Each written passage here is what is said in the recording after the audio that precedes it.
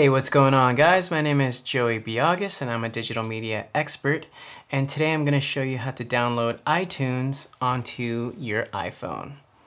Alright, now first off I must say if you don't have iTunes, make sure you've looked through all of your apps thoroughly because iTunes should already be built in to your iOS, your operating system on your iPhone.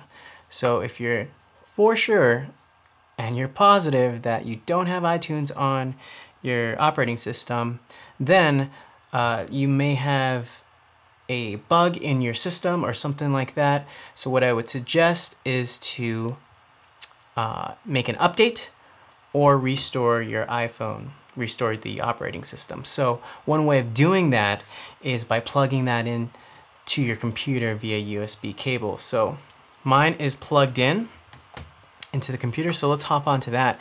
I have iTunes already open here.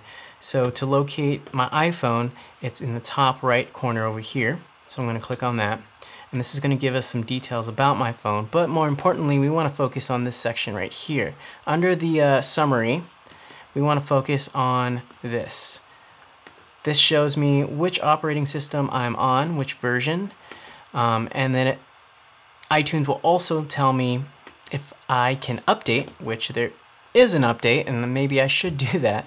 Um, so I have the option to update and option to restore. Now restore is going to go back to uh, factory settings. So now restore is going to go back to the factory settings just like you got out of the box, brand new.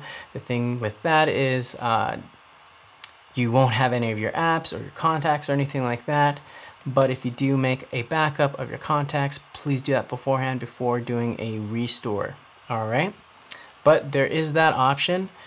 Um, so this is the window that you will receive after you have clicked on restore. I'm going to not back mine up right now because I don't need to, but once again, you can update and you can click on update and it will tell you to continue and you can follow the instructions to update your iOS. And then from there, you should have iTunes already built in to your iPhone.